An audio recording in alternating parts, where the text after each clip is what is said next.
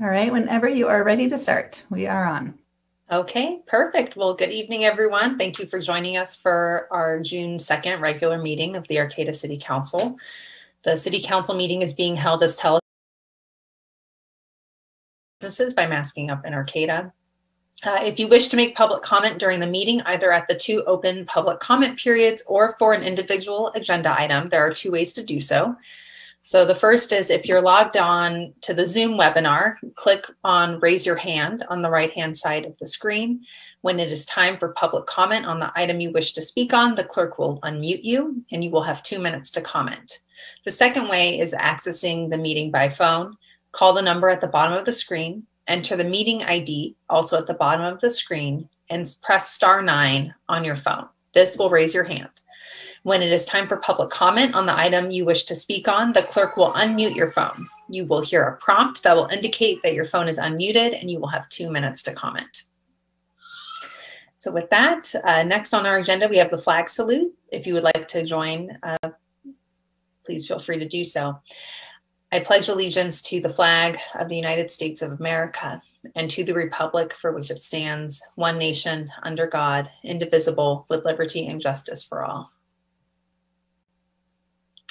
Will the city clerk please call the roll? Mayor Pereira, Here. Vice Mayor Watson, Here. Councilmember Atkins Salazar, Here. Councilmember Goldstein, Here. Councilmember Schaefer, Here. all present. Great, thank you. Uh, next, under ceremonial matters, uh, we have a proclamation in recognition of Arcata and Six Rivers High School Safe and Sober Graduation Day, Thursday, June 10th, 2021. Whereas safe graduation parties are a nationwide project sponsored by health organizations, businesses, law enforcement agencies, and many other groups. And whereas this year's Arcata High School and Six Rivers Charter High School senior classes, their parents, and the community are overwhelmingly in support of intending and providing a safe graduation party. And whereas 5,000 teenagers die and 400,000 are seriously injured in auto accidents each year. Of the 15 to 20 year old drivers who die in car crashes, 23% have blood alcohol levels of 0.08% or higher, enough to be charged with driving under the influence if they were adults. And whereas residents throughout the county have agreed to drive with their lights on during graduation week, and the Arcata community has volunteered to keep porch lights on throughout graduation night on Thursday, June 10th, 2021. Now, therefore, be it proclaimed that the City Council of the City of Arcata hereby designates Thursday, June 10th, 2021 as Arcata High School and Six Rivers Charter High School Safe and Sober Graduation Day in the City of Arcata and congratulates the graduating class of 2021. So we will make sure that gets to gets to them and congratulations on making it through a wild senior year. To say the least, you did it.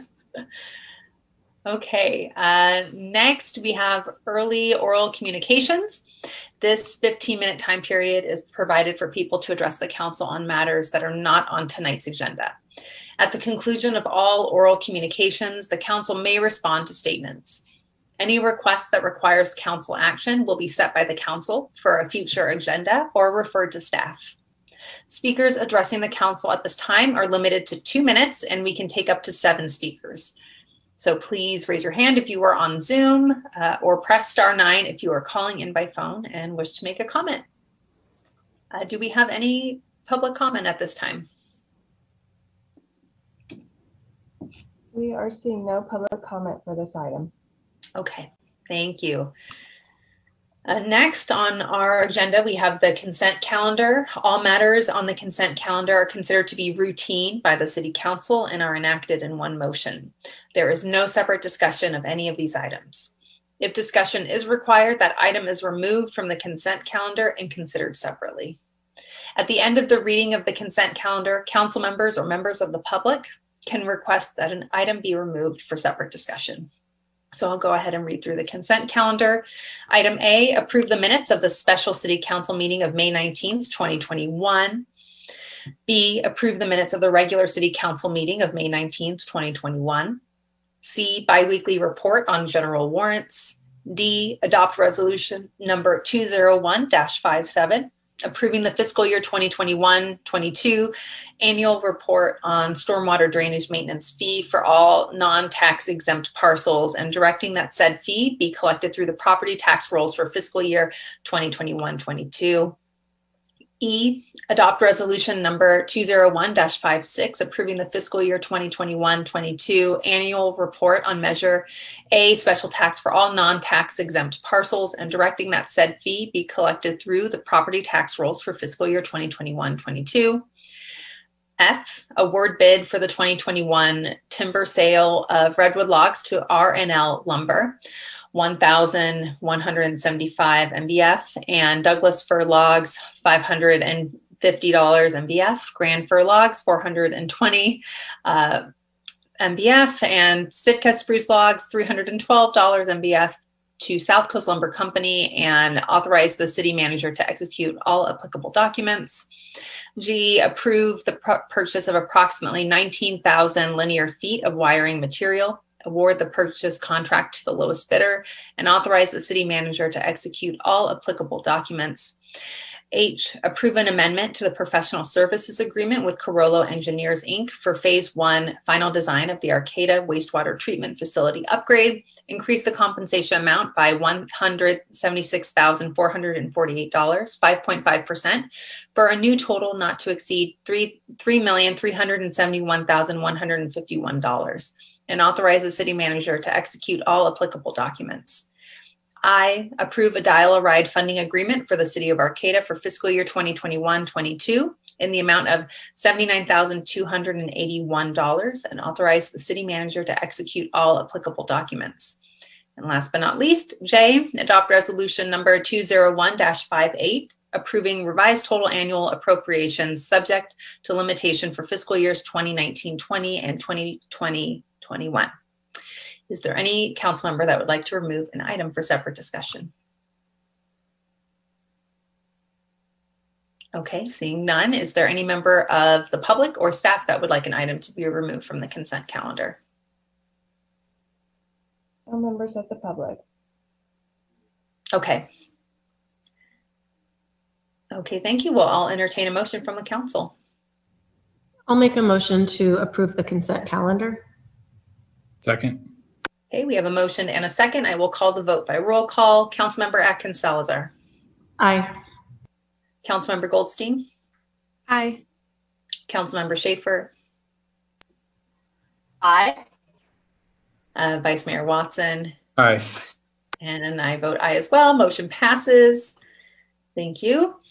Uh, next, uh, we are on to old business. Item A, declare a continuation of the local emergency related to the coronavirus pandemic. And may we have a staff report from City Manager Diemer, please? Yeah, thank you. Mayor and council, um, as we're getting fairly routine uh, at doing, we do need to approve at least once every 40 days the local emergency to make sure that we can continue to respond and or receive uh, reimbursement for certain expenses associated with our response to the coronavirus pandemic. So typically, um, we've been re- routinely doing these on consent unless there is some change in terms of something that we, we would be enacting.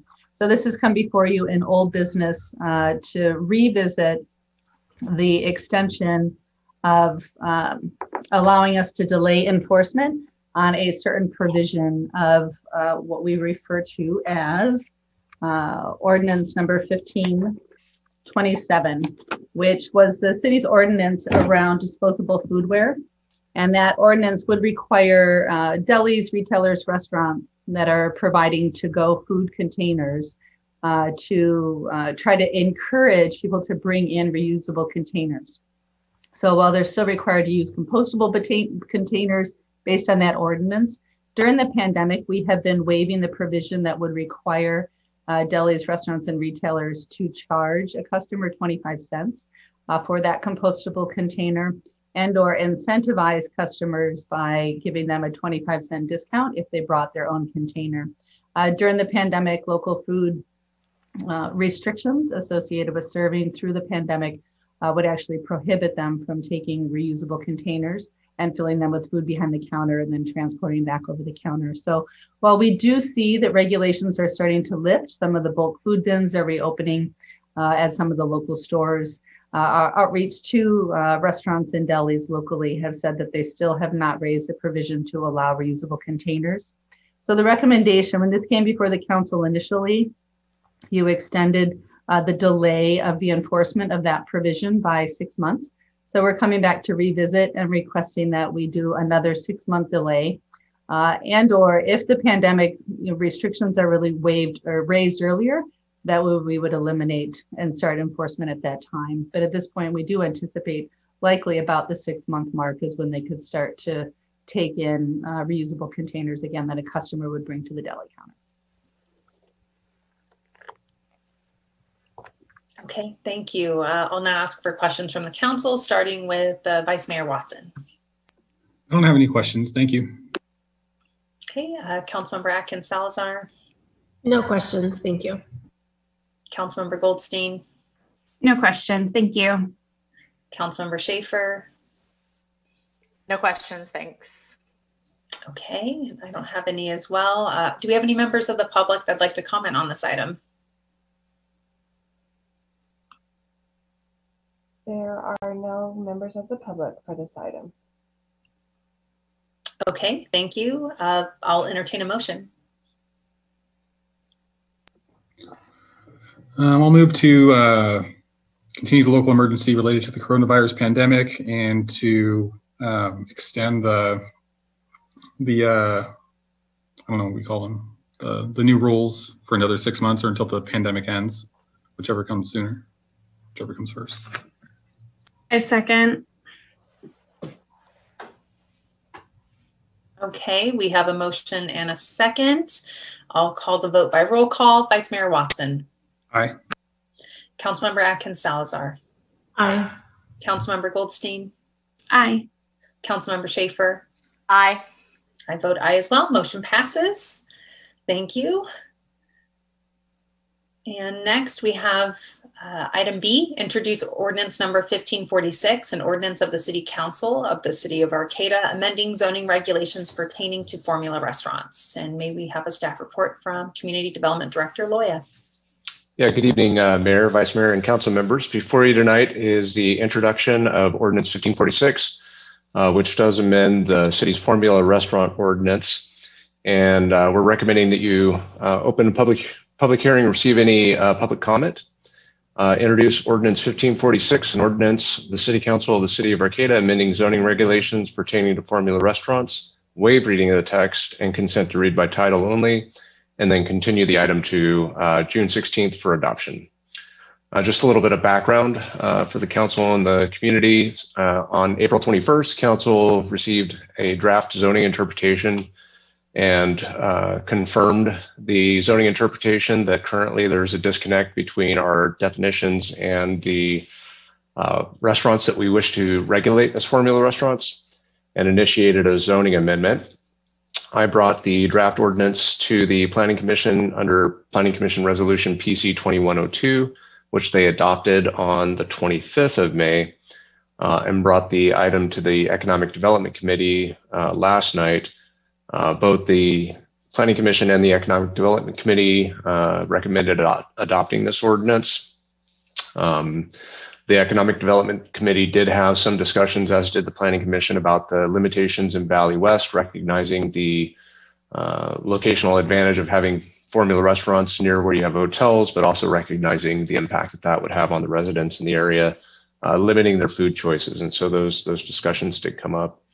Uh, additionally, at the Economic Development Committee meeting, uh, the committee discussed uh, some potential additional limitations in the Northtown area uh, specifically on size, number, and location. So if the city council wants to take that up, uh, we can dig in that into more detail. Um, but I did want to just walk you through the ordinance uh, using a PowerPoint to sort of simplify all the underlying strikeout that's included.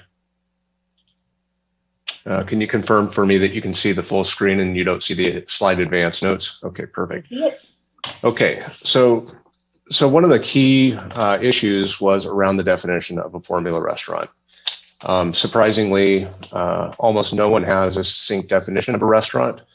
Uh, which struck me as very odd because none of us gets up to go out to eat for dinner and then ends up at any other place than a restaurant. So clearly we know what they are. Um, but to accomplish the goals of the council, um, I worked on the following key elements in the new definition, effectively just uh, striking out the old definition and adopting a new definition. Um, I made reference uh, for permanent food facility and ready to eat food to the California Food Code. So those are now defined. Um, as it turned out, when I was talking to the um, uh, local Department of Public Health, their food inspectors, um, he said that, you know, under California Food Code, Papa Murphy's pizza actually is ready to eat. Everything on the pizza is edible in the form that they give it to you. So if you wanted to eat one of those raw, you can which was uh, also something interesting I learned while doing this work. Um, but to further define it, really what it boiled down to, to, to capture the kinds of restaurants that we were looking to capture, we had to add to the definition that the food was menu ordered and uh, again, reinforcing that it's counter table or drive-through service or additional types of, of service. And really those two last um, parts of the definition uh, break apart the categories that would otherwise include many other types of uh, facilities, uh, like you know liquor stores or you know um, uh, you know anywhere that sells prepared food. And so these two were the ones that are really novel to the definition. So apart from just cleaning up language, making reference to California Food Code, and adding these, um, these get us down to sort of a smaller subset of things like grocery delis and um, true traditional restaurants.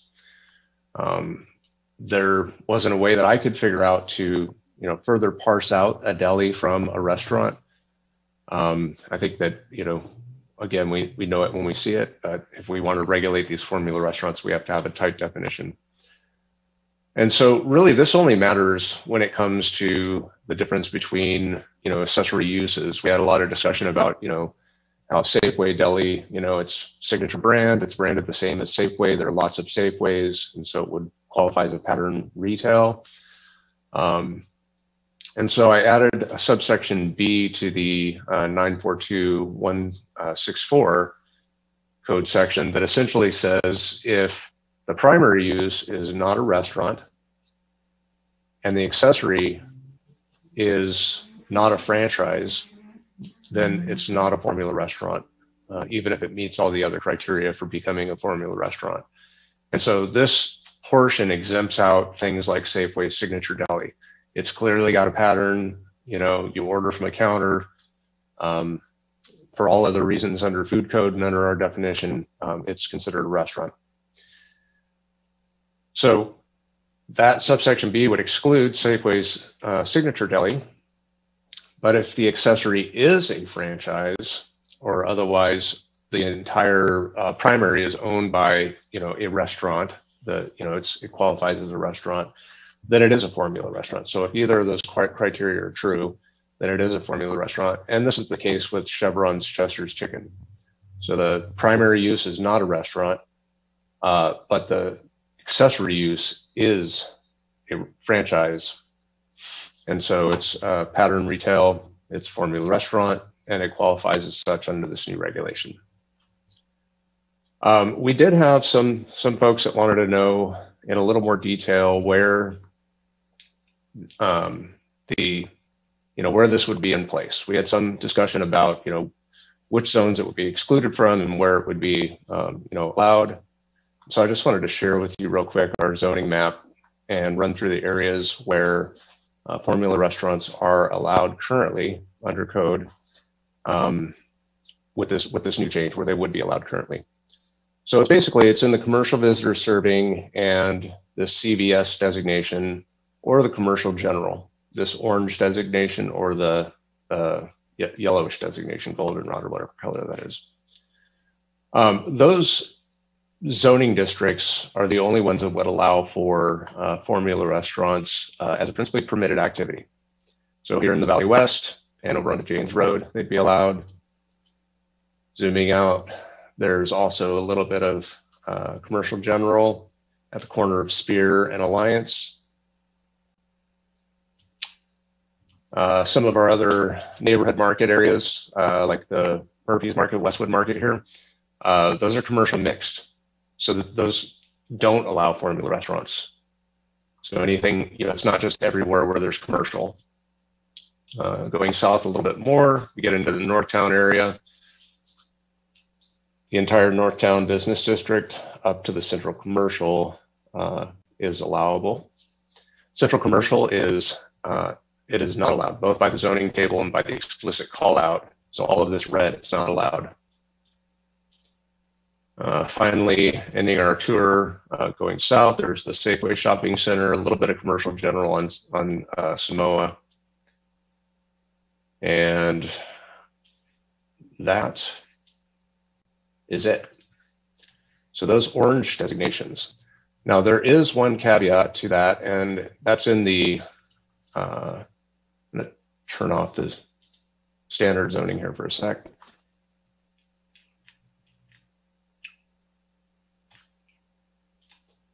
In the Creamery District, uh, and I apologize, some of the lines are, are hidden behind roads, but in the Creamery District formed by the border of K Street here, and then this purple line, formula restaurants are actually allowed with a use permit. And so if a formula restaurant wanted to uh, locate there, uh, there would have to be a free formula restaurant, but they would also have to go through a use permit process. Um, and so that's another zone where theoretically, under the new regulation, a formula restaurant could uh, locate. Uh, it's important to note, though, that despite that, the fact that there are all these other zoning districts uh, where they could locate, um, right now the you know the cap uh, set at nine uh, is full, and so the formula restaurants that you know are existing in the Valley West and in the Safeway Shopping Center, Uniontown Shopping Center, those are those are basically locations for uh, the near term and uh, foreseeable future. Um, I did just want to touch briefly on the, uh, you know, the couple of discussions that Planning Commission had uh, with respect to the, the total number uh, that's required to qualify as a formula restaurant and also the total number of formula restaurants on the ground. So right now, the ordinance reads that if a if a restaurant has 11 has more than 11 locations so you have 12 or more locations then you qualify as a formula restaurant. Um, the rumor is that that ties back to the number of business districts that we had. Um, so a restaurant could theoretically a local restaurant could locate in every single business district and not be considered a formula restaurant the reality of the situation is, is that most formula restaurants have thousands of locations and even westside pizza has um, tens i believe they have more than maybe more than 100. And so 12 is artificially low. Um, there was some concern among the Planning Commission in their first review that uh, some of our, our restaurants that do otherwise qualify as pattern, uh, Ramones, Jitterbean, et cetera, um, are doing quite well and have you know several locations uh, and are getting close to that 12 threshold, but they're not quite there yet. And so they wanted to have a conversation around raising the limit. Ultimately, the Planning Commission didn't recommend raising that uh, cap uh, figuring that they could come back to it later uh, if need be. Um, I think that you know there may be some uh, you know sort of uh, protectionist um, claims that could be made against the city if we all of a sudden decide to raise the cap when Ramones wants one more, and so that's something to consider. Uh, I certainly don't think a uh, you know cap on the number of distinct locations that any one restaurant has set at something like 50 uh, would would hurt us now if you wanted to change that. Um, but that's not what, how it currently reads. Uh, and then in regards to the uh, the total number of uh, restaurants on the ground, um, as we mentioned in the staff report, shortly after we had our April 21 hearing, uh, where we discussed this uh, first, I found out that we actually have another formula restaurant that's in the works. In fact, they're uh, there's a Domino's that's uh, received a building permit to locate in the North Town where the old uh, subway was. And so if all of the permits are issued uh, that are currently in process, we would have 10 and not nine. And so I just wanted to bring that to the council's attention. Um, I don't necessarily recommend that you change the cap to 10. Um, you can have, you know, 10 for a time, and then that could whittle down to nine in the future. But I just wanted to bring that to your attention. So I'd be happy to answer any questions. Um, and certainly there may be some public members. There have been a couple of folks that have uh, tracked this along the way, and they may want to speak to that. Um, I was gonna do by roll call, but is there, is that okay? Councilmember Atkins Salazar? Okay. Okay, uh, we'll start with Councilmember Goldstein. Uh, yeah, thank you so much, David. Um,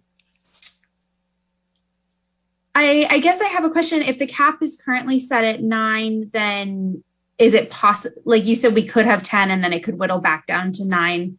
Um, so they are able to obtain a permit even if they're a tenth restaurant. Yeah, there's there's actually no permit associated with um, with a formula restaurant. There's just a limitation on the total number, and so it it puts us in kind of this odd situation where we have to basically deny a building permit um, Okay. in order to to regulate it, um, which is unfortunate for you know the the person who's wanting to open a formula restaurant because most people don't come and ask the city, hey, do you mind if I locate? They just go out and get a lease with someone, they drop the plans, and then they come in and submit building plans. By that time, they've you know, spent thousands of dollars, and then we tell them, sorry, you can't open. We have this ordinance. But that's neither here nor there. That's just the way that it is. Um, but right now, we have the three restaurants that, um, you know, three locations uh, that are currently trying to move through the system. Uh, two of those have moved uh, forward pretty aggressively based on the conversations we had in early April. Um, and so we're in, in sort of this um, odd position. And certainly if the council wants to say, well, no, we're only going to let nine uh, establish and it's the first nine. And if that 10th one, um, you know, isn't opened in time, um, you know, then, you know, then they, you know, that's their tough luck. Um, you know, I'd certainly want to consult with our, our city attorney on what that would look like and what the timing, get, you know, into details on what the timing would look like. Because our ordinance won't be in effect until 30 days after the, uh, in, after it's adopted. And so certainly if they come in and they're issued a building permit, they're operational within that timeframe, um, then they actually comport with our current regulation. Um, and if they, you know, slip over that time frame a little bit, they get a little past that that outside deadline, but they've been diligently working towards getting their uh, their building permits. Um, you know, that that will be a hard conversation to have. Absolutely. Thank you. Um, I think my only other question is again kind of about the cap. I couldn't remember based on our last conversation and kind of where we got to today. Um, was it going to be nine for all of the city of Arcata, or was it going to be like a certain number in Valley West, a certain number in Northtown, and a certain number in the Uniontown Shopping Center? That's a good question. So it's currently designed so that there's no more than six in the Valley West area, and then a total of nine throughout the city. So if there were six in the Valley West, there could be three elsewhere in the city. Okay. Thank you so much. Those are my questions for now. Thanks. Okay, thank you. Uh, Councilmember Schaefer. Um, thank you so much, David. Uh, that was all very clear and helpful. And to everybody else, I hope my connection's okay. I had a quick change of room, um, so I hope you're hearing me. Uh, but right now, I actually don't think I have any questions. Emily asked the the question I was thinking of about what the the provisions for the number in Valley West would be set at. Um, so I don't think I have anything else right now. So thank you. Okay, uh, Councilmember Atkins Salazar. My question is just, I know that there um, is a business that's been working to locate over in Valley West, and are they being counted in, in the 10 restaurants? Yeah, so I've I, the total of ten includes all of the uh, currently known uh, restaurants that are attempting to open and the ones that are ex- existing now. Um, so the uh, you know the business that wants to open in Valley West is included in that count of ten. Okay, thank you. Okay, Vice Mayor Watson. So if we have a restaurant that has 11 locations and then they decide to open 10 more, are they just grandfathered in? How does that work? Yeah, that's a, a good question too. Um, so we would we would recognize that business as existing non-conforming, and in fact, my my recollection I don't have hard data to support this, but my recollection is that's exactly what happened with West Side Pizza when they first opened. I think they had fewer than 12 locations when they first opened in the Safeway Shopping Center, but they've you know been aggressively expanding in the West Coast, and now they have you know I think more than 50 and maybe up to 100. And so if West Side Pizza had opened when it wasn't technically a formula restaurant and then later became a formula restaurant, we would then have, you know, an, an additional formula restaurant location and they we would have to whittle back down. So in the example, you know, more present example of Ramones, Ramones, I believe, has nine locations right now. Um, I'm sorry, I think they have six. Let's say that they get six more and they hit that magic number of 12 elsewhere in the community. Well, the Ramones that is in Wildberries, and you know, is it's totally fine. But if they wanted to open another uh, Ramones somewhere else in town, we would have to tell them, no, I'm sorry, you can't open another Ramones. You're now a formula restaurant, and we already have nine.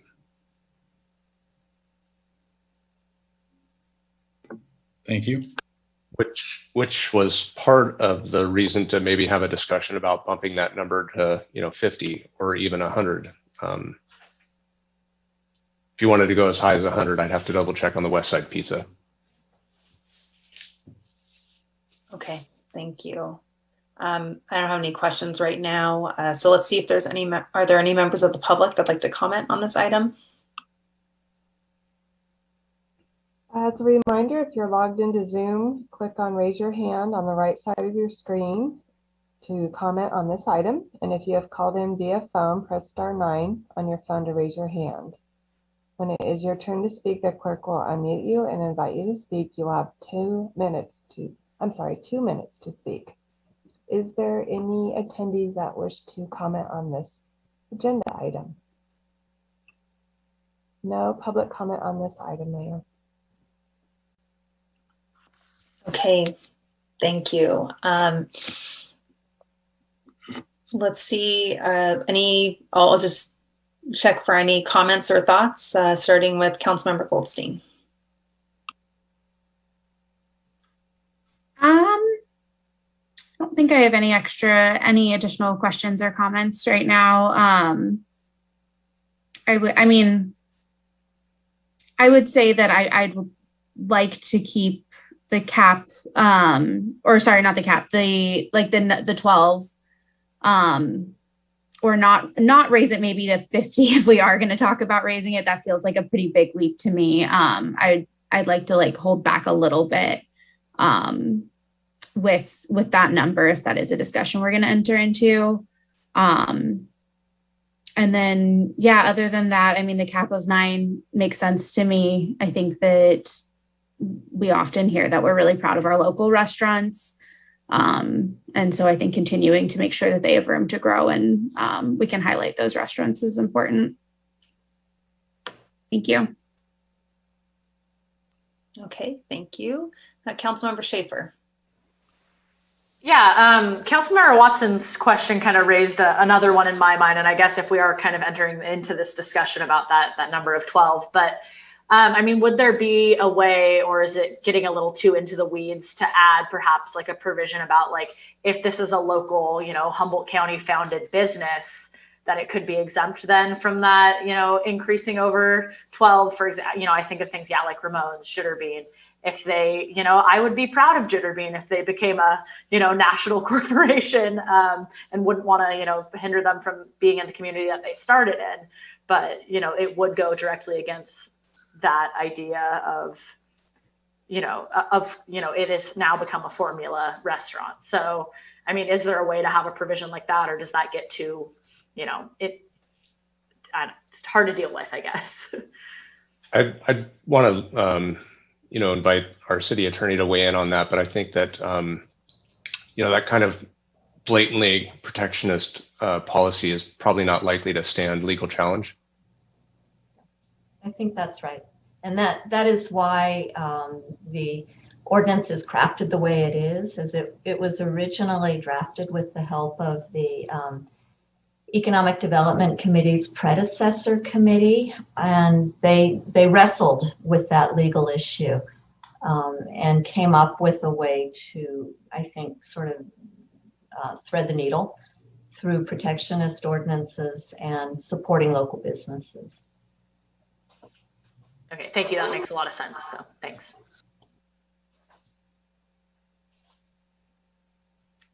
Okay, uh, let's see. Any comments from Councilmember Atkins Salazar? Um, I do think that we should entertain that discussion this evening, just so that if, you know, one of our local businesses does grow and push that, then we don't run into, you know, legal issues trying to fit them in or also having to deny them. So I think if, you know, that we should probably have that discussion tonight as to what the number should be. And then I just wanted to, um, to voice my opinion, because I'm not sure where everybody else stands, but um, even though we've got a, an extra 10th restaurant possibly coming in, I feel like it's important, excuse me, that we move forward and, and let them come in because they've already been in the process and we're now changing the rules while they're in the middle of the process. And I just think that that would be um, not the best business practice if we just, you know, change the rules midstream and they're already invested in it. So I just wanted to voice that as well.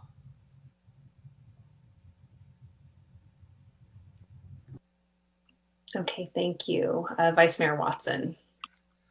Um, you know, I think I'd be fine with just going with the planning commission's recommendation of leaving the the number at 11 to what qualifies as a formula restaurant. Uh, it doesn't sound like we're going to have any local restaurants anytime soon pushing up on that number.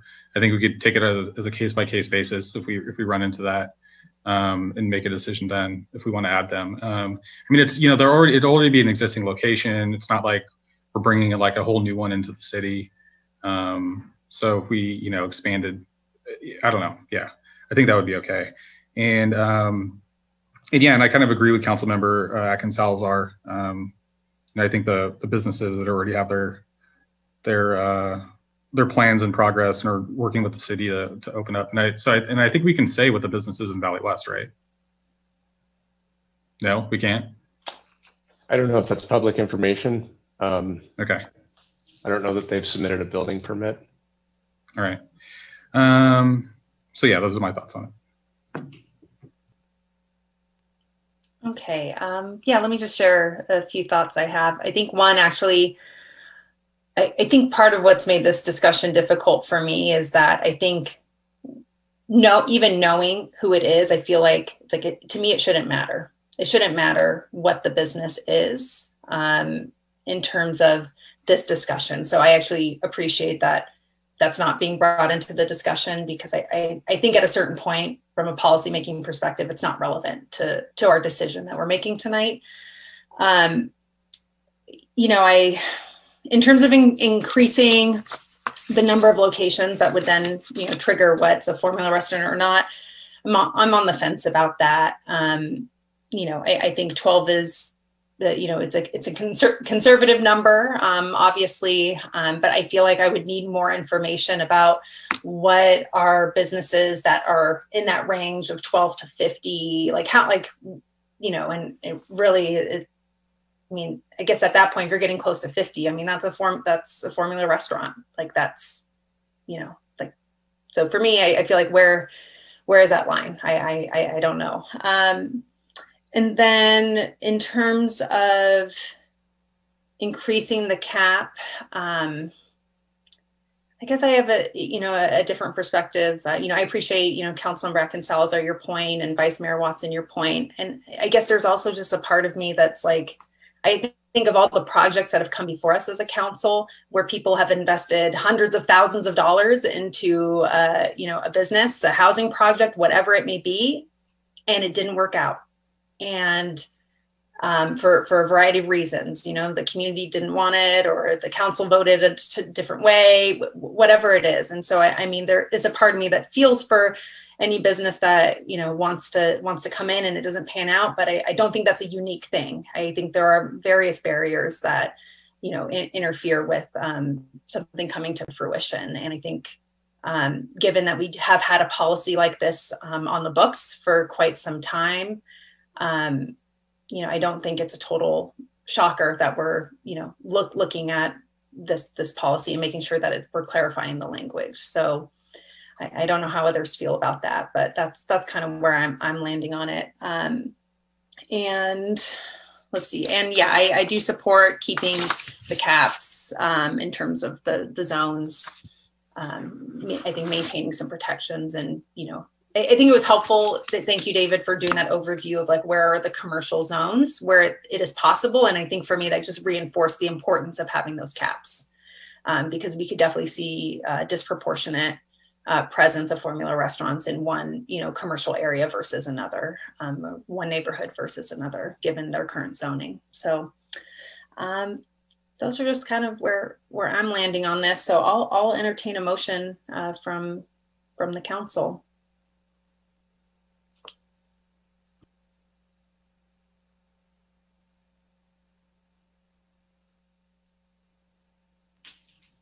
Don't all jump in. I, have a, I, well, I just have a question because we've talked about so many things. So if we, um, you know, if we make a recommendation to introduce ordinance 1546, does that, that means that we keep, you know, keep it at 12? That also means that, that, that the 10th person could possibly come in or no? If the uh, I, I would like separate direction on that. If the tenth person um, is in process when the ordinance goes into effect, um, you know, and and you know, I'm not I'm not exactly sure where the threshold is for having, you know, uh, you know cross that that line that we would then say well you know you you now are existing non-conforming because we have this new regulation. Certainly if their doors were open or if they had received a certificate certificate of occupancy um, then uh, you know then then they would be existing non-conforming at the time the the regulation goes into place. Um, we're in a little bit more of a uh, you know we have to dive into the the discussion a little bit more detail i think if we want to you know, cut off at nine, and there may be some additional uh, discussion about uh, when to have the effective date of the ordinance if we want to allow the tenth one in. And so there's there's a little bit of nuance in there that, that I think, you know, maybe a straw poll on allowing the tenth or not is is necessary. And just a reminder, you don't have to raise the cap to 10. It would just be the allowance of this 10th one to come in during the rulemaking process the minute that any of the formula restaurants then closed in Arcata, you would be back down to the nine cap. There would not be an open slot at that point. The way that it's written tonight, you would keep the cap at 10 or at nine. Sorry, that's the worst thing to say. You would keep the cap at nine for a period of time. You would have a 10.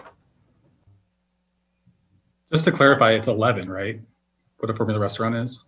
There, yeah, there's two. There's two numbers, and uh, it's unfortunate because it's a little confusing in order to be qualified as a formula restaurant, you have to have 12 locations or more. We have a limitation of a total number of nine formula restaurants of any type within the city. So there's two two two numbers to keep track of. I'm just looking at the staff report on page 267 and it says the number 11. in The second paragraph. Yeah, so this is talking about the uh, total number of locations of a given pattern restaurant. Right. So but you just said so it's 12? You can have, the, the way that the ordinance is written, you can have 11 and still not be a formula restaurant. And then if you go to 12, then you are a formula okay. restaurant.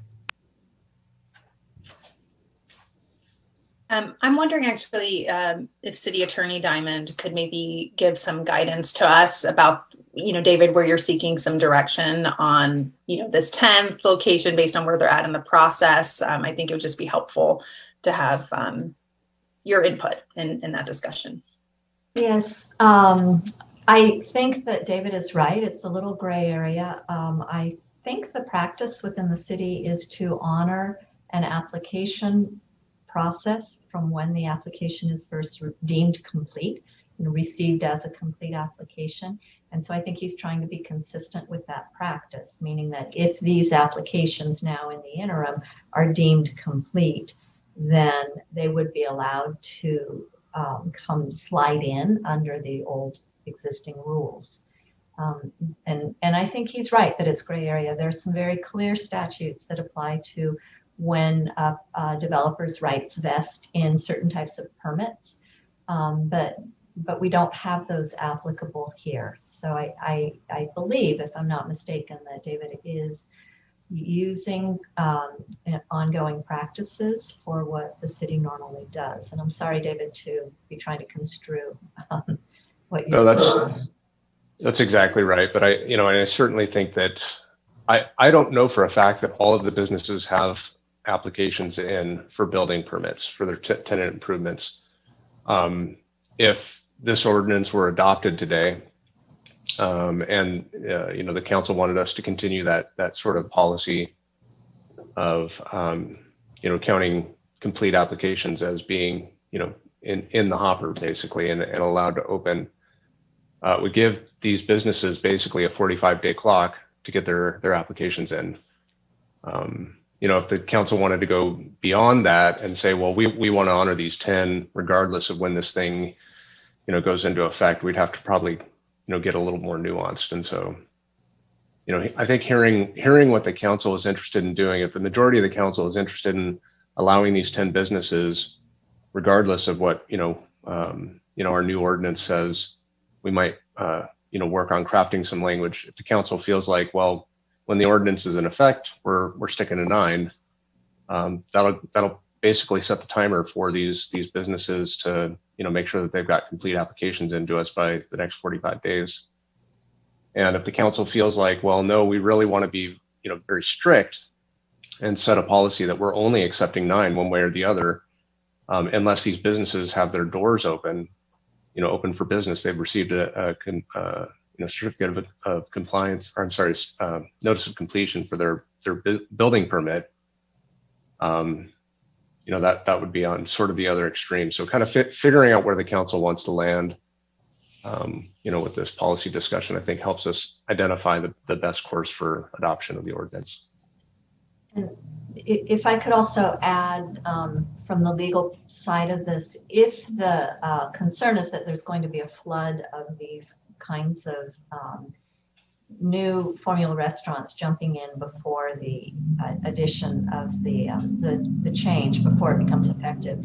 The council's option is to adopt an interim zoning ordinance, which then goes into effect. You have to go through a noticing process, a 15 day noticing process, but that would go into effect and, and act like a moratorium immediately, and it would prevent any changes, any new um, formula restaurants from coming in in into existence and then getting grandfathered. So that that's one of the mechanisms that's used to offset this kind of rush to sneak in before the rules change.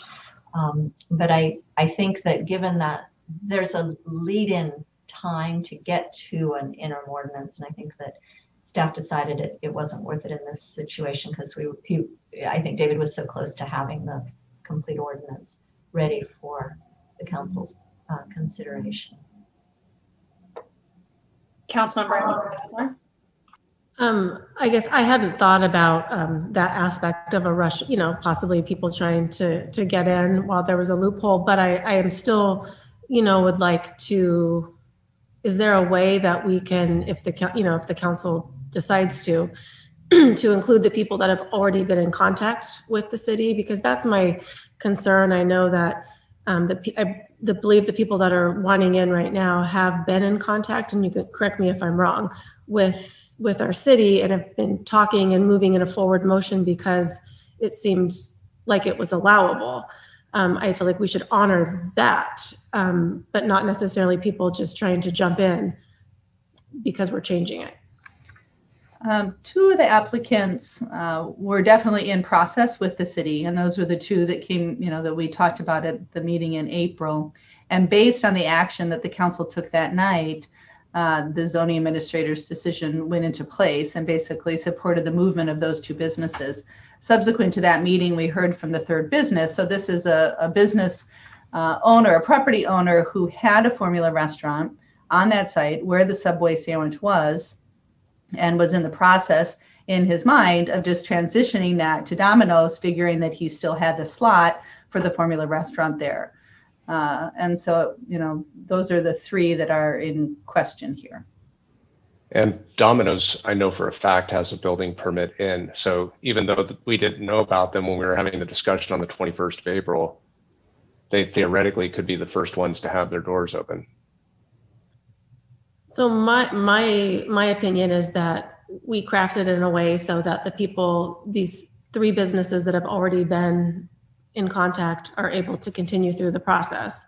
Um, and then, you know, but that we don't leave room for others to jump in while we're in transition, if that's possible.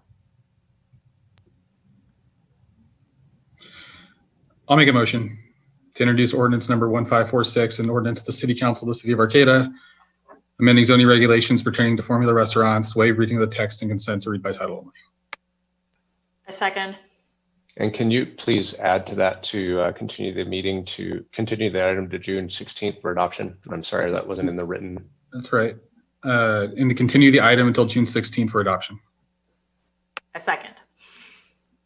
Okay, we have a motion and a second. And so just to clarify, so this is for this, introducing this ordinance, and then we still would need to discuss then the, the piece, the, the gray area piece that we've been talking about. So I just want to, just for the public's clarity and the council's clarity, that we're having two separate What's the gray area piece? about the in process applications, because I think our ordinance doesn't speak to, I think it does. The way I read it, it, it I think it covers that. On the, on page, packet page 268, um, the last paragraph. Um, was it the last paragraph? Yeah, it says formula restaurants, you know, the three, which is all we've been talking about, open would be eight total. On the effective date, Papa Murphy's and Chester's Chickens will then be added to the total, resulting in 10. I- guess I, I, maybe I'm misunderstanding what staff is requesting of us, but it sounds like, given that there's new applicants, I think, I think the, um, the distinction is that if any of those applicants don't have a building permit in process at the time this becomes effective, you know, and then falling back on our, our policy, you know, our typical policy, which is, you know, if you have an application in process, you have a complete application, and then the policy changes, we'll, you know, honor that application. So if the ordinance is, is adopted right now, the way that it stands, w- that's how we would process this. So the, the three businesses effectively have 45 days to get us a complete application. Once it becomes effective, if they come in on the 46th day with an, an application, we'd say, I'm sorry, this ordinance is in effect and we only have nine spots and there are none available for you. Um, if the council wants to give additional direction about, you know, honoring that regardless of, you know, the implementation of this ordinance, then, you know, we'd need to get a, a little bit more nuance than what's in the current ordinance. But if everyone's comfortable saying, look, you know, you've got 45 days, you're on notice now, we're adopting this new regulation, get your building permits in. Uh, we essentially, we know that there are these three that have been working on it to, you know, some, you know, in some way, shape or form. Um, I doubt that anybody else is going to be able to get an application in, in, in that 45 day period. Um, so I, I don't think that's an issue. Um, so I guess that's, that's the only gray area, you know, we, I would, I would recommend that we somehow, you know, either honor or notify these people that, that it's not going to be honored after, you know, the, the ordinance becomes effective. And just give them a real clear signal that that's how we're going to implement it. And in the unlikely event that another application does try to get in, I mean, that's when we would jump into action and bring you either via a regular council meeting or an emergency meeting, you know, a special meeting to talk about if you want to put a moratorium in to, you know, the, you have a backstop and a provision to stop that. So we'll keep that in mind based on the discussion tonight. Yeah, I, I guess I just want to express a, a concern, just thinking about our current, you know, our cap has been for well over a decade, nine, and basically without any additional protective measure, this, yeah, like a, you know, a third of an increase in um, in a very short amount of time. And I just, that, that just doesn't sit well with me. I mean, I, I get it that there's folks that have put their applications in, and I, I feel like it's a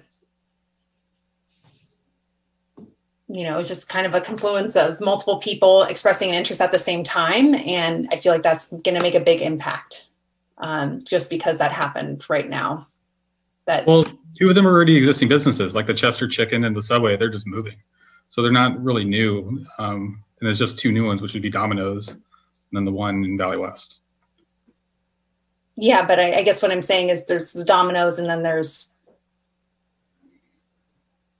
another one that's you know that we're not talking about that's not public knowledge but i guess i just have a, a, a concern about the implications of that Can we vote? Absolutely i just have a right to speak my piece on it um, are there any other uh, thoughts or comments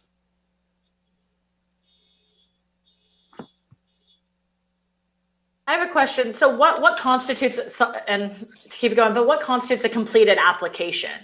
Um, and, you know, have these three businesses reached that? And, you know, d- does it seem like they would? Or will we be in a situation where, yeah, we probably will be at nine or even at eight and allowing, you know, maybe one to come after this ordinance goes through? Um, Netra, do, do you want to take what, uh, what constitutes a complete building permit application?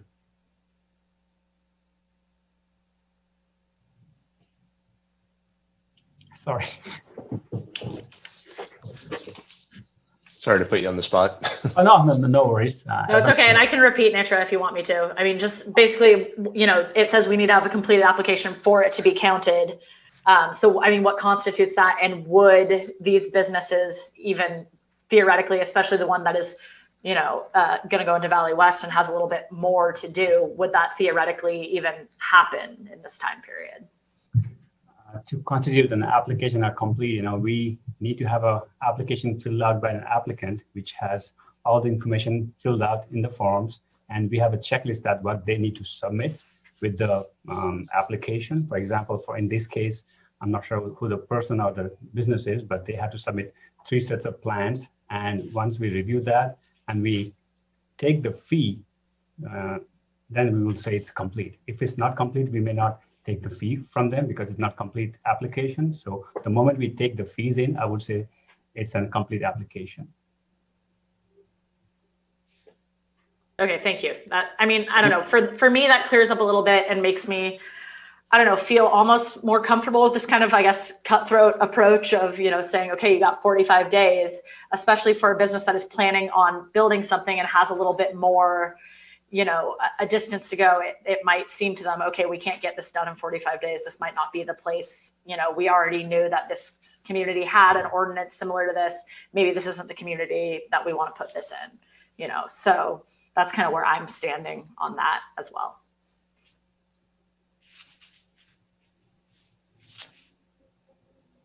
Yeah, I just want to say that like I I feel very on the fence about this because I really see um you know com- you know compassion for for people that have started the process but I I do agree with Mayor Pereira that I I have I have some reservations and concerns that we are you know slow one you know then maybe you know it's another one and that's just not what we really want in Arcata I think and so I'm I'm feeling really torn. Um, and so yeah, I just wanted I guess I just wanted to voice that I am feeling really torn right now. Um, but that uh, yeah, I don't know. It, I I don't want this to get out of hand by accident just because we're trying to be compassionate to to one business, I guess.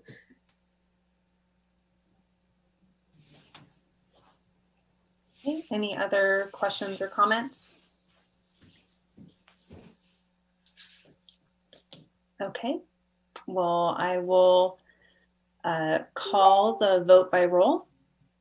Uh, Councilmember Goldstein, That's just cruel to make me vote. I know. I, I I keep it consistent with the with the items. I know. know. Um, I, I'll vote aye. I got to keep it consistent. um, okay, uh, Councilmember Schaefer. Aye.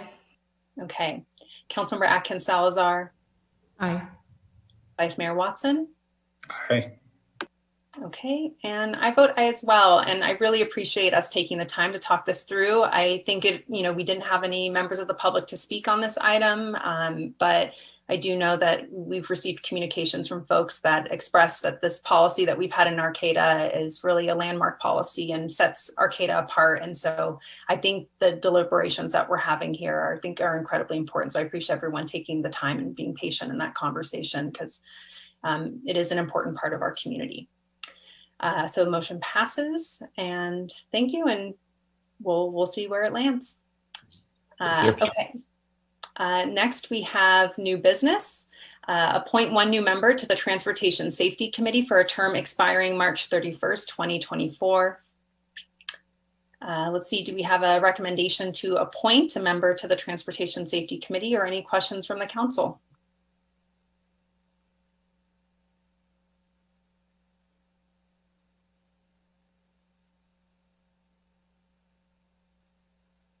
Is there any discussion that we'd like to have or a motion? Councilmember Schaefer. Go Yeah, ahead. I move that we appoint Misael Ramos to the Transportation Safety Committee. Second. Okay, we have a motion and a second. Uh, I, I, first of all, any, uh, any members of the public that would like to comment on this item before we take a vote? Checking for public comment, and there is no public comment on this item. Okay, thank you. So I will call the vote by roll call. Uh, Councilmember Schaefer, Aye. Councilmember Atkins Salazar, Aye. Councilmember Goldstein, Aye. Vice Mayor Watson. Aye. I vote aye as well.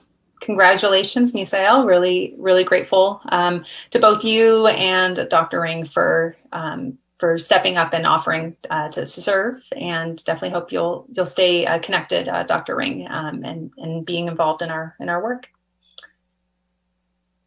So motion passes. Uh, next, uh, we have an update on homelessness services working group and current projects. Uh, may I have a staff report from City Manager Diemer? Yeah, thank you, Mayor and Council. Um, I will try to be brief, but this tonight's agenda item really comes at the request of the Council after I know several of you have had conversations with community members expressing concerns regarding sort of the increase um, that we're seeing in part because of the COVID pandemic of unsheltered individuals around the business districts in the city.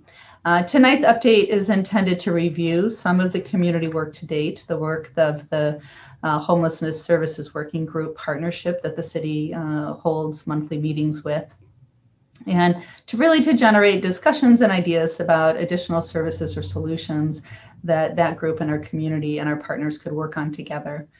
Uh, so I'm just going to go through sort of a quick review uh, of sort of the recent efforts of the Homeless Services Working Group.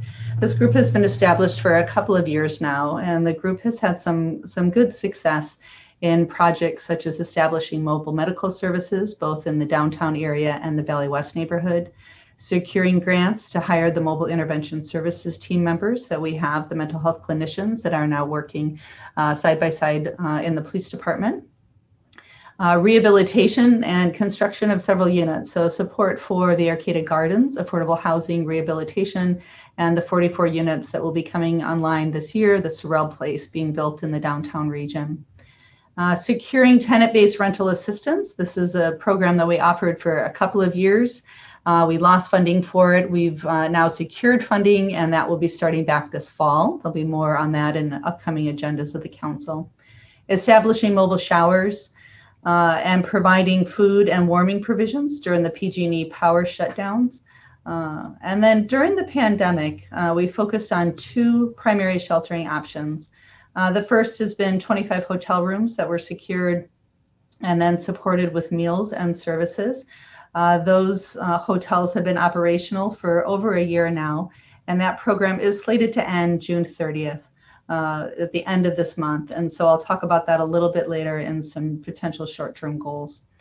And then we did have a period of time where we were able to receive state funding to provide alternative shelter uh, through two parking lot shelter locations. And those shelter sites operated in total for about 130 days. We had 95 different individual participants that stayed for a total of what we call bed nights uh, of 3,576 bed nights. So the average length of stay per uh, participant in that program was about 38 days. 14 people were transferred into sort of brick and mortar shelters.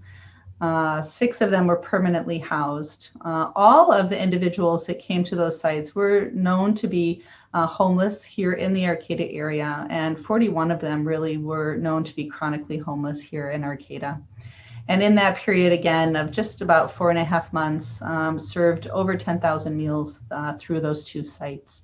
So the program uh, at that alternative shelter provided you know, a safe place. Uh, we had tents and cots that were provided through the county, uh, and then funding that also came through the county that supported meals, water, showers, laundry vouchers, uh, bathrooms and hand washing stations on site, cell phone charging, uh, and then wraparound case management as we could start to build uh, through that period of time while we had funding. Uh, the group also has several upcoming projects that are in the works. Uh, several of these the council has already talked about, so I won't go into great detail. Uh, but one of the largest is the uh, community development block grants, the what we call CV2 and 3, rounds 2 and 3 for COVID funding. And that grant will uh, provide money to do uh, staffing to do intake at the one stop, which is down near the transit annex. And this helps homeless individuals locate services, including housing in the region. Outreach to encampments and to sort of meet people where they are and provide services uh, in the community while also maintaining kind of safe and healthy environments in those camps and helping to do uh, trash removal um, and clothing and bedding exchange. Modifications to the annex site, so the primary site that Arcata House Partnership uh, works out of, uh, to provide better COVID safety for both staff and clients and to do some significant upgrades that they need to be able to uh, better provide food services. Uh, and then purchase of two needle disposal kiosks, kiosks and to fund regular disposal servicing for them. And we expect those funds to be available in late summer and we'll be rolling out some of those, you know, those programs as soon as we receive uh, notification and approval from the state to do so. Uh, the council has in our goal setting, and this will come before you for final adoption in your budget, but your number one goal uh, this year was to work on a two to three uh, two to three year homeless reduction strategy and a framework for identifying some initial priority benchmarks. And part of that was to support Arcata House Partnership in securing funding for hotel conversion uh, to permanent supportive housing uh, utilizing Project Home Key, and that is in one of our long-term goals of the working group, to identify an ongoing funding stream, such as a sales tax or parcel tax, increased TOT or vacation rental tax, cannabis tax. There's a lot of different ways it could be viewed. Uh, but something that we would consider as a ballot measure, uh, ballot initiative for voters to consider in 2022 is ongoing funding uh, to support services. Identifying a location and operational funding for a day center and supporting uh, the collaborative uh, that we have uh, existing, providing additional support through Arcata House Partnership. Uh, and then long term, we had talked about developing more cooperative housing models here in Arcata. So the Homelessness Services Working Group has identified a, a few short-term potentials and then some midterm and some long-term. I can stop for just a minute to make sure there aren't any questions before I review the short, mid, and long-term. Um, I'll see. Any questions? Just raise your hand if so. Okay. Go ahead. Um, so on the short-term um, side, we have really been looking at what would it take to do uh, low barrier shelters, either just individual night shelters or more long-term low barrier shelters, similar to the experience that uh, we were able to fund in the emergency shelters in the parking lot. Um, the program would require uh, identification of a site, installation of temporary shelter units, securing fencing, support facilities, uh, our major challenge on low barrier shelter right now is that uh, there is some changes in the building code that actually go into effect on July 1st of this year that are requiring these types of shelters to meet additional health and safety and accessibility codes. So we are working through what that looks like and what that might potentially bring to bear in terms of the cost of setting up that type of low barrier shelter. Uh, we are also talking through um, sort of the logistics of a business district engagement program. So this would fund outreach workers to provide uh, morning outreach to individuals that are currently sheltering in doorways and are in close proximity to our local business districts. This would be in Valley West, Northtown, Creamery District, Marsh District, and the Plaza. And it would assist with um, cleanup from nightly sleeping and connect individuals with services. Uh, we have identified a, a, funding source for this and at this point are working on the application to receive that funding and try to initiate that program. Um, we also secured a grant uh, this year to do natural resource property outreach specific to Carlson Park. So we're waiting uh, for that grant agreement. We've submitted everything that we need to on our end, and we're just waiting for the green light. Uh, we have been uh, in contact with New Directions, which is operated by John Shelter's group, uh, to do that site cleanup and engagement and service provision for individuals in the Carlson Park area. Uh, John Shelter's group did help maintain that site when it was under Caltrans ownership and is very familiar uh, with the site and the natural resources provisions on um, that are required um, from Caltrans on the site as well. Um, talked earlier about the tenant-based rental assistance. So we have secured a million dollars in funds. Uh, outreach to sign people up for that program will begin once those contracts are finalized, but we do anticipate that by the end of summer. Uh, and then you're all very familiar with the mobile intervention services team. So really that was just initiated in March of 2021. Uh, so we're just starting to understand, you know, what the potentials are for that program. And in another, you know, three to six months, I think we'll have a much better sense of what type of long-term funding uh, that program, how how large we would want to ramp that up, what are the critical hours that it operates, the critical numbers that it operates in, and be able to provide uh, a recommendation to the council. Uh, and then in a short-term possibility, uh, we are seeing that some of the funding coming out kind of post, you know, and this stage of COVID um, does also allow the hotel shelter to pay for hotel vouchers. And so I do think in the short-term potential, this group will start to look at some alternatives to potentially retain the hotel sheltering program that we have right now. Uh, in terms of midterm potentials, the county is actively working on uh, releasing a request for information for operators to uh, actually operate low barrier shelters.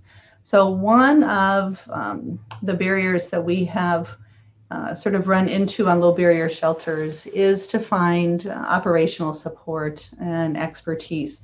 Arcata House Partnership, as we have talked about, is just an absolute tremendous partner.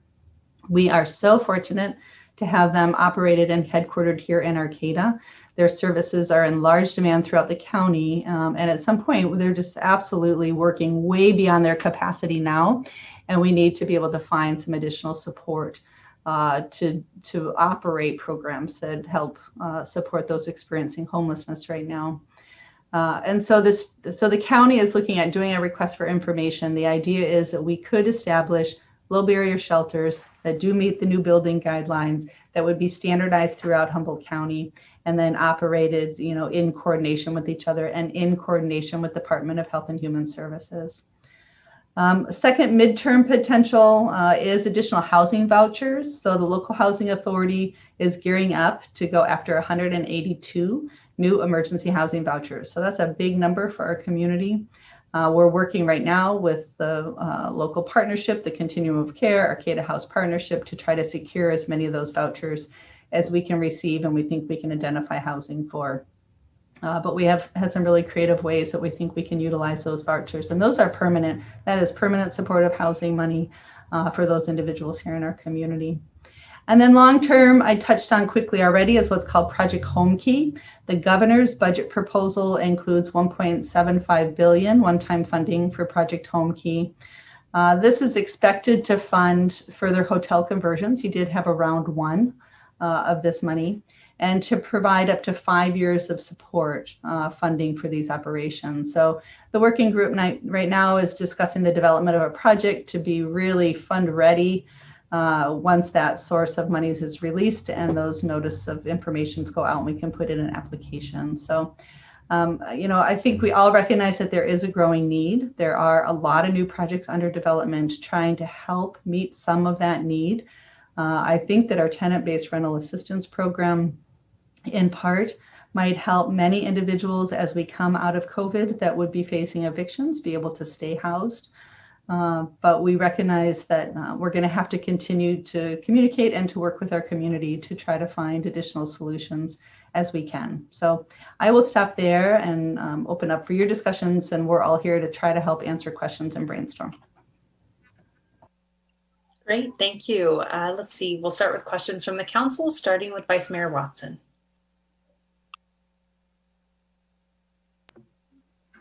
Uh, I don't have any questions. Um, I'll have some comments later. later. Thank you. Okay, uh, Councilmember Schaefer. Yeah, same. I don't have any questions. That was very a great thorough review. I have a couple comments when we get to commenting, but no questions. Okay, and Councilmember Atkins Salazar. The same. I have comments, but no questions. Okay, and Councilmember Goldstein. I have a, I guess it's a question. Um, so I was just wondering, and I probably should know this because I am part of the working group. Um, has there or will there be some type of um, like needs assessment or informally or f- more formally um, with houseless individuals to see what services they're actually going to utilize or want want and need um, because I think that's one of the trickiest things when talking about some of these things. They sound really great, but if nobody's going to utilize them because they're not what they really want, then you have a service and nobody using it. So I was just wondering if there's a plan for that or if that's happened in the past. There have been a couple of surveys. We obviously do the point in time count um, every year. Um, we find that we think that that's probably grossly underestimates the number of individuals uh, without shelter and that given night anyway in Arcata. Um, Arcata House Partnership has done a lot of outreach and they have done a lot of sort of survey work with uh, with their um, both their street outreach and then people coming in requesting services. Uh, but I don't I don't know if I've seen and, and David jump in if you have where we have formalized that in any kind of a report. So I think that would be a great discussion to have uh, with the working group and bring back recommendations from that. I think Darlene might have some, you know, have some data that we could start to populate that with, and we could look at the gaps and see what other kind of survey work we would like to do. It's a great idea. Awesome. Thank you. Okay. Um, I guess a question I have, maybe it's a bit of a leading leading question. Um, given that it is one of our priorities um, to look at a 2022 you know ballot measure for a funding mechanism to support homelessness services and affordable housing in arcata um, and we're in 2021 right now um, I, you know that's it's going to sneak up on us basically we would need a i mean right it would be by next year next summer that we would need to vote to put something on the ballot so given that time frame, um, you know, when could we get um, some recommendations of?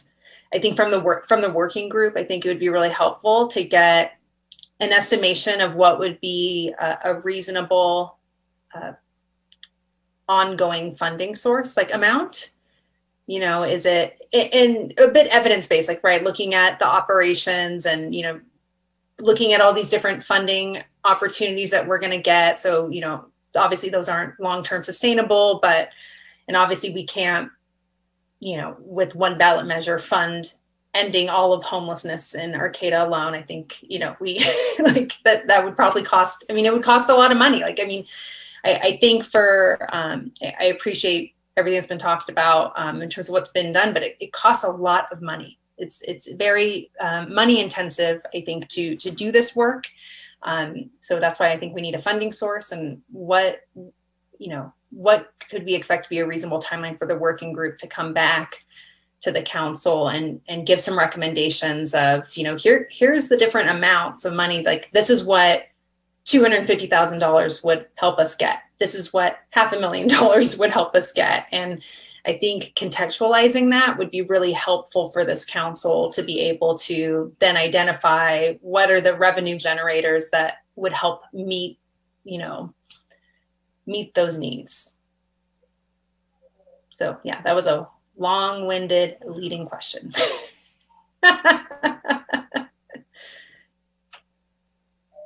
Do we have an idea of how long that would take probably for the working group to give us that estimate? I mean, I don't, have an answer, but thank you for asking that. I think it's an important question. Um, I think we could report back. I think we've got two great topics for our next meeting so far. and I think they would very much like to do that work together. Okay, great. Thank you. Well, thanks for entertaining my my leading question. Um, let's see. Uh, do we have any members of the public that would like to comment on this item? It does not look like we have any members of the public to comment on this particular item. Okay, well, let's go back through because it sounded like people were holding back uh, comments. Uh, Vice Mayor Watson. Yeah, you know, I think this is a. It's important for the public to know. We get, you know, we get a lot of, you know, comments, I guess, and complaints really about homelessness all over the city, and um, I feel like a lot of people feel like that we're not doing anything. Um, and uh, I think it's important for the public to know that this problem, it's just to be honest, it's not going away anytime soon. It's a huge problem that the entire state's struggling with. And, um, you know, I can say from my um, conversations with Councilmember Goldstein, it's something that we're both really passionate about. And um, it is our, you know, I think our top priority for the next year. And uh, we are doing everything we can to work on this. We work on it every day. You know, I know the staff works really hard on it. Um, and, uh, and yeah, those are my comments. Thanks. Great, thank you. Uh, Councilmember Schaefer. Yeah, um, I really want to reiterate that too, because we, we do get a lot of emails, phone calls, whatever it might be about, you know, the houseless individuals in our community and, you know, what a lot of people see as, you know, a detriment to the community. So let's come together as a community and figure out a way to transform this, which is another reason that I'm definitely very much in support of, you know, creating a long-term funding source, uh, whatever, you know, a sales tax, uh, other sort of property tax, whatever that might be, what we come to, um, because it's really something that the whole community needs to come together and realize, you know, if we want to transform our community and improve it, this is something that, you know, everybody needs to do because you can't just, you know, wave that magic wand and have a billion dollars to build two new homeless shelters and a couple housing units and everything like that, right? It, it takes a lot of effort and it takes a lot of work. Um, and, and just to reiterate that idea that, yeah, you know, we are always all of us on council and city staff and especially i mean arcata house partnership are working constantly. And you know to see on this list that arcata house partnership is you know ready to even take on a, another thing right now with how much that you know they are really doing as you know a, a pinnacle of our community to really help houseless individuals is just you know shows i mean their dedication and our community's dedication to wanting to try to find solutions. So I just, you know, I'm very in support of the low barrier night shelter. I think that's going to be really amazing for our community. And I think the work that, you know, Arcata House has done, you know, even with the, the parking lot shelters in the past and the work that they're doing now in Valley West with their new offices there, um, you know, it's, it's all amazing. And so just really, I think all of us were very passionate about this and, you know, really coming together as a council to be behind uh, you know, something that could be transformative, a, a, ballot measure that could provide us a source of funding that we could really make a difference in this community. And so I think that's going to be a really important piece, yeah, for us to work on. And, you know, already now starting to think about that and getting something like that in front of us is going to be important. So, yeah, thank you. Okay, uh, and Councilmember Atkins Salazar. My comments are pretty much on, on the same line as the others that have been made, but I do just really appreciate the thorough report because, you know, we only sit on so many committees and don't know what's happening on them unless we hear from them. And so even though I, you know, have a pretty good idea of what's going on when I read my council packet, I learned a lot that we're doing that I was unaware of. And so I think it's really important for us to stay connected and, and for the community to also hear what's what's happening and what is being done because there is a lot being done even more than I realized. And um, you know, not to put the um, that working group on the hot seat, but I feel like since this is one of our top priorities, it sh- you know it should be on our agenda more often, and you know, just probably a bigger part of our discussions because it is, you know, in the top of what we want to do. So that's all. Thank you very much. Thank you. Uh, Councilmember Goldstein. Yeah, I, I fully echo everything that's been said. I think this is an area that we we all care deeply about. Um, and I don't think that's putting us on the hot seat at all. Um, I think that's actually a really good idea. I thought about, I love being part of this working group, and I think it's something that um, Vice Mayor Watson and I can talk about doing more often, a report out or something um, to make sure that we're keeping you all updated too on since we are the only two that get to be on that group, um, at least this year. So um, I think that's actually a great idea. And um, yeah, I mean, this is, we have some really exciting ideas. Um, I am continuously blown away by Arcata House Partnership and just the amazing work they do um, and how tirelessly they work. Um, it's it's just pretty incredible to see that, and I, I, think we are very very lucky that they are are based in Arcata. Um, yeah, I, I don't know. I, I have hope for for this because of how much energy I know everybody is willing to put in. It's one of those topics that feels really big. And as Vice Mayor Watson said, it's not going away, unfortunately, anytime soon. But I do actually think we have a real chance to make strides forward here. Um, we have some really great plans and a lot of energy behind it. Um, so I'm I'm hopeful for the future. Um, yeah, I think that's that's all I have. Um, just yeah, very, very grateful for all the hard work everybody, city staff, everyone is doing on this. Great, thank you. Um, just a, a, couple things to note. One, um, our, you know, just thinking about natural places to give updates on, you know, working groups and committee work um, you know, at the end of our agenda, when we have council and staff reports, that's typically a time um, where if if we don't formally have something on the agenda, but you do have an update of, you know, for any of us that are like we're liaisons and or we serve on the, the different JPAs, just know that that is always an appropriate time to give give an update uh, to the group. And then if there is something that needs more discussion um, from the council, then at that point we can say, hey, you know, this is something this group is talking about should we put it on the agenda? And that's usually a time that we can, you know, vet something like that and bring back to the council in a in a more formalized fashion. So just wanted to note that that that's a that's always a good place uh, to give updates um, without it being formally on the agenda. Um, if if that's not happening in advance, and then yeah, I, I just wanted to to add um, just because I think it was a part of the large. there was a lot going on in, in those updates, um, and I, I just I think given my work on the Governor's Council on Homelessness and looking at things from that statewide lens, just really giving giving credit to our governor who has been really bold on this because this is not an issue typically politicians want to touch because it's feel it's insurmountable. It feels insurmountable. So like why would any politician want to touch that issue, right? Because you want you want easy wins in politics and I appreciate um, the the statewide leadership and the local leadership being willing to take this on and say, you know, we we can do better, even if it feels insurmountable. And specifically, the five years of operation funding, like that is huge. I, I think it was like, you know, it was a part of a large report, but like that is huge. And I know that was something that we,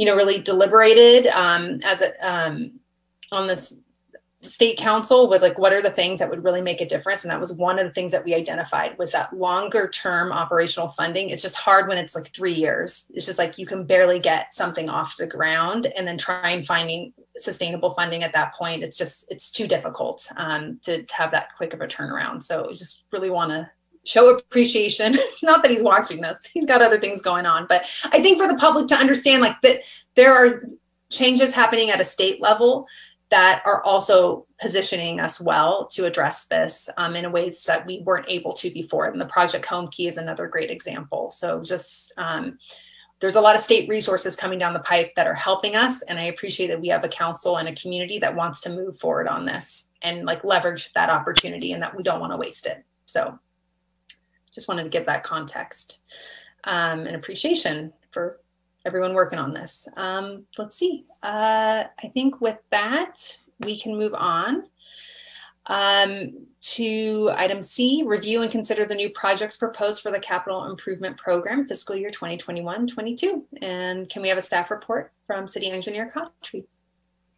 Yes, um, good evening, Mayor, Vice Mayor, uh, council members, staff, and the members of the public. Uh, the item in front of you is to review and consider new projects for the um, CIP, I call it Capital Improvement Program for fiscal year 21-22.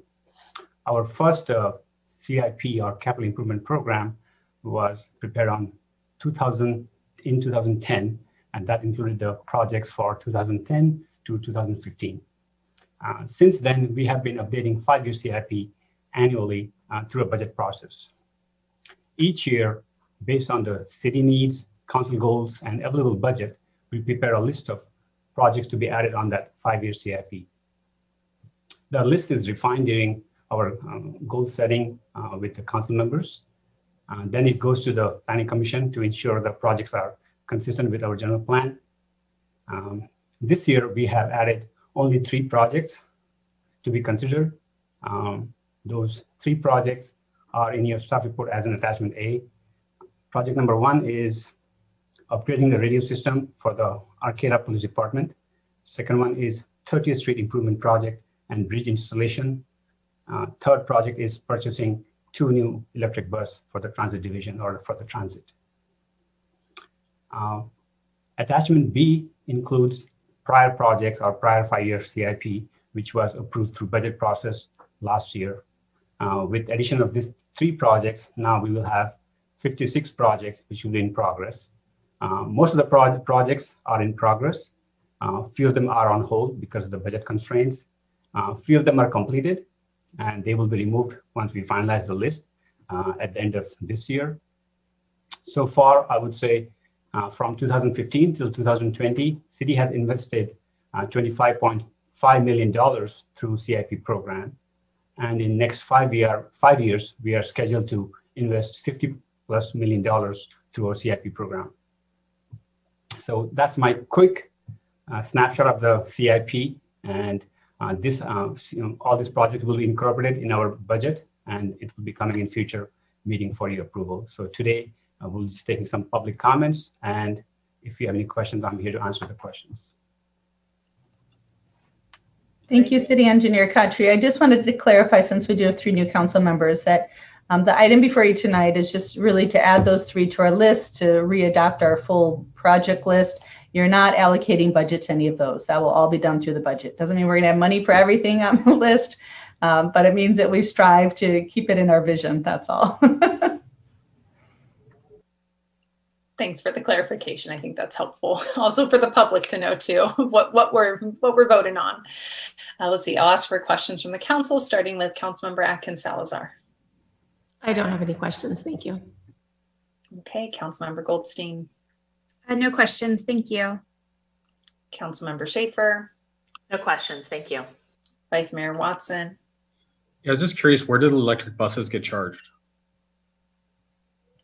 Uh, uh, as you know, we don't have enough uh, room in our transit um, area or at the end of 9th and 10th Street. So they will be charged at HTA station where our bus get, gets maintenance. Our buses are stored there uh, overnight anyway. So we will, we will have a charging station there for our electric bus charging. Thanks. Great, thank you. I don't have any questions. Uh, so do we have any members of the public wanting to comment on this item? Checking if we have any members of the public that would like to comment on this item.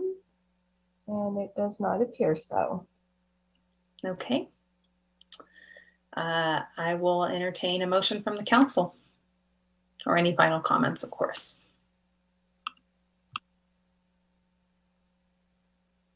I move that we approve the proposed projects for the capital improvement program fiscal year 2021 to 2022. I'll second that. Okay, we have a motion and a second. I'll call the vote by roll. Councilmember Atkins Salazar, Aye. Councilmember Goldstein, Aye. Councilmember Schaefer, Aye. Vice Mayor Watson, Aye. and I vote aye as well. Motion passes. Thank you. Uh, next, we have oral and written communications. This time is provided for people to address the council on matters not on tonight's agenda. Please raise your hand if you are on the Zoom webinar or press star nine if you are on a phone line and you would like to make a public comment. Speakers are limited to two minutes. When it is your time for public comment, the clerk will unmute you and invite you to speak. Do we have any folks open to comment? We do not have any public comment. Okay, thank you. Uh, next, we will move on to council and staff reports. Are there any staff updates? I just I'd answer the most common question that I'm getting this week, which is yes, the first three weeks of crabs tickets are on sale now. So humboldtcrabs.org. and they're going to go fast. So get your tickets. you have to pre order, they will not sell them at the gate. So, and you have to buy your whole pod. So, but it's going to be a really fun season. We're excited to see baseball played in Arcata. Great. That's that's a wonderful update. I think the community appreciates hearing about for sure. Uh, let's see, uh, Councilmember Atkins Salazar, any updates from you? Um, yeah, I just have one. I'm the Main Street liaison, and um, since I'm new to this process, I'm not, you know, exactly sure what is to be done or the process moving forward. But I just wanted to make the council aware um, that we're down to two board members on that. So um, they are going forward with the Oyster Festival, which is going to be happening. Um, it's like um, a pre-order and express type of festival, and it's moving over to the Creamery District. Um, but there are only two active board members to my knowledge right now, so I don't. I just wanted to make you all aware of that. Thank you. And that's that's an impressive feat to be pulling off an event under these conditions in general. So on top of that, wow. Thank you. Uh, Councilmember Goldstein. Uh, no, I don't have anything. Thank you. Okay, uh, Councilmember Schaefer. Uh, nothing to report, and thank you to uh, City Manager Diemer for answering my ever burning crabs question that I've been asking like for the last month. So I've already got my tickets. Okay, and Vice Mayor Watson. No updates, thanks. And yeah, I don't, I don't think I have any updates. Um, yeah, HWMA, Humboldt Waste Management Authority meeting is next week. So I guess after that, I'll have an update. Um, okay, uh, on to dates of future meetings. Uh, we have our annual budget study session on June 15th, starting at 5.30, and a special meeting for a study session with the Planning Commission and to discuss and adopt the 2021-22 annual budget Thursday, June 24th, 2021 at 5.30 p.m., both via teleconference. Um, and then lastly, we just need to determine a summer schedule for city council meetings. Uh, Karen, can I just turn over to you to give kind of context of how we typically handle this? Yeah, um, I'd be happy to. So, I mean, the, the council does um, in the summer often take, you know, one um, or in some summers two, you know, meetings uh, that they try to consolidate and, and take one or two meetings off in the summer. But then we've had some summers where we've tried to go straight through. So I have just heard from several of you about times that you might be away from, you know, from the area and wanted to put this on the agenda to see if we wanted to try to stick through the whole summer schedule or if there was a, you know a particular time that you wanted to try to have a special meeting that you were all going to be here or if there was a particular meeting that you wanted to to cancel because we wouldn't have many people or a quorum here so. Um, i don't know we had a long-standing practice of the first meeting in august um, but that really was around a past council schedule and i haven't heard any of you talk about that week yet so I can't really recommend that one. Oh, except maybe Sarah. Okay, Sarah's going to be gone the first week in August. um, so I thought we should just have a discussion, and we don't have to finalize it tonight either. Uh, but just if we wanted to start throwing dates out and talk about it, it would be good.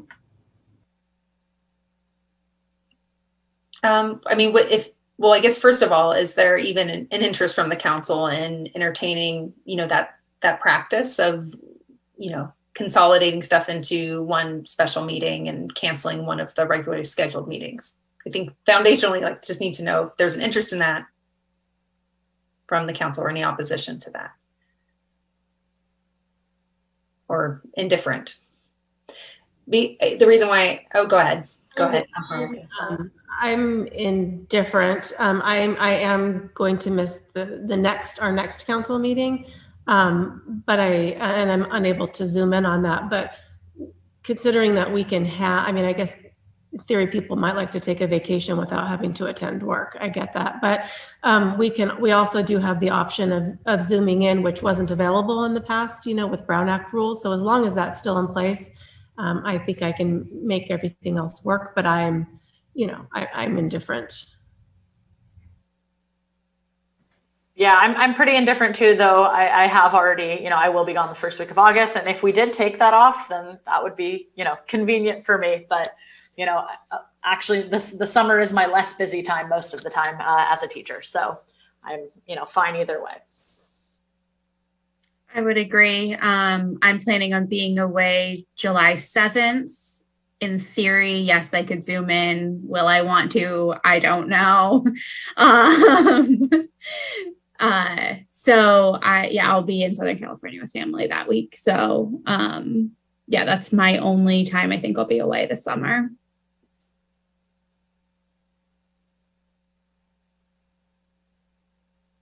It sounds like we can all just rotate and like miss miss a Yeah. and then still be okay because sounds like Stacy's gonna miss in June, you're in July, I'm in August. So I think you know it seems like it would work out.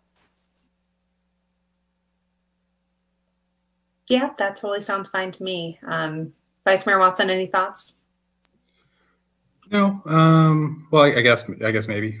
Um, I would just say, uh, yeah, I mean, it's, not- we can, I mean, we can always, if we have an agenda where there's really nothing on it, you can always, uh, decide to cancel the meeting too, right? As the mayor. Yeah, but yeah, I mean, we can Yeah. we can always assess if it's looking light, and I guess the other consideration, Karen, too, is that if it's looking like staff are also because that has been a routine the first meeting in August. So if it does look like staff, like department heads or you know whoever, kind of taking time off around the same time, you know, if that's just something that would affect what's going on in agenda, we can also assess from there. No, I appreciate that. And I think uh, Vice Mayor Watson brought up a good point that it, in part we've also canceled because our agendas do tend to be a little bit lighter in the summer. Uh, but that being said, we also, after July 1st, we also tend to have a lot of uh, bid work that's going out. So sometimes we've scheduled a special meeting to make sure we can keep bids moving efficiently and get construction work on the ground happening. So, um, but happy just to play it by ear. It does sound like you're all going to sort of split. Uh, and we can we can look at the agenda items to make sure that we've got a full quorum, you know, for meetings that have all of our work is significant, but have things that really require all five of you to be there, like the budget, you know. so, yeah. but appreciate the discussion. Okay, great. So we'll just play it by ear. Uh, so with that, we are adjourned. Thanks, everyone. Have a good night.